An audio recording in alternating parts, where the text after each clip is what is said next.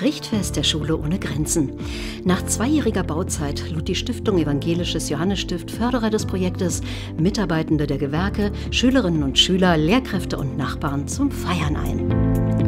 Ab Sommer 21 lernen Kinder mit und ohne schwerste und mehrfache Behinderung hier gemeinsam. Die August-Hermann-Franke-Schule und die Evangelische Schule Spandau beziehen dann einen Gebäudekomplex an der Schönwalder Allee. Stiftsvorsteherin Anne Hanhörster eröffnete das Richtfest mit einer Andacht. Jesus Christus hat einmal gesagt, dass Kinder bei Gott etwas ganz Besonderes sind. Und damit hat er alle Kinder gemeint, ohne Aufnahme. Und auch egal, ob mit oder ohne Einschränkung. Herz, alles, was wir erleben werden, soll mit ganz viel Herz und Liebe geschehen. Die Wünsche der Kinder trafen auf die Hoffnung der Politik. Eigentlich finde ich, sollte jede unserer Schulen eine Schule ohne Grenzen sein. Nur während der Feier standen die Kräne still. Bauleiter Michael Weid zeigte den Gästen das Gelände und die Räume der künftigen komplett barrierefreien Schule und erläuterte die vielen guten Ideen. Der Gebäudekomplex wird aus vier Pavillons bestehen, die über eine innere Schulstraße miteinander verbunden sind.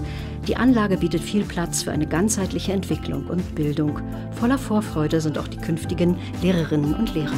Zwei Kooperationsklassen der August-Hermann-Franke-Schule und der Evangelischen Schule Spandau teilen sich einen Raum für gemeinsame Projektarbeit, für Lernen und ja, auch für gemeinsames sich freuen. Mehrere kleine Innenhöfe und ein großer Pausenhof bieten später dann geschützte Freiräume, aber auch Klettergerüste und Spielelemente. Beim Unterrichtskonzept müssen besondere Fragen beachtet werden. Welche Voraussetzungen bringen die Kinder mit? Wie viel vertragen sie in der großen Gruppe?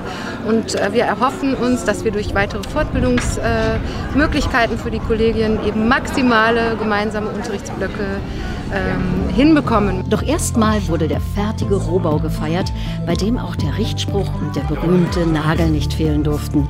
Gerichtet ist das Haus.